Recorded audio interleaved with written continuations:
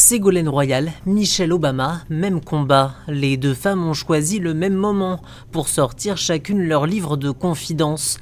Et en France, elles ont la même maison d'édition, Fayard.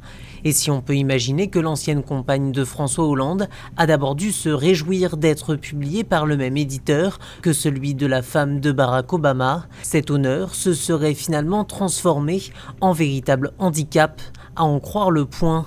Le magazine révèle que si ce que je peux enfin vous dire se termine par 50 pages d'interviews bouclées en catastrophe, c'est parce que le jour de la date de la remise du manuscrit, l'ancienne ministre de l'Environnement n'avait tout simplement pas fini d'écrire son livre et elle ne bénéficiera pas d'un délai supplémentaire. Chez Fayard, il n'était pas question de repousser la parution du livre qui risquait de télescoper la sortie mondiale des mémoires de Michelle Obama dont Fayard a les droits pour la France peut-on lire dans les colonnes du Point?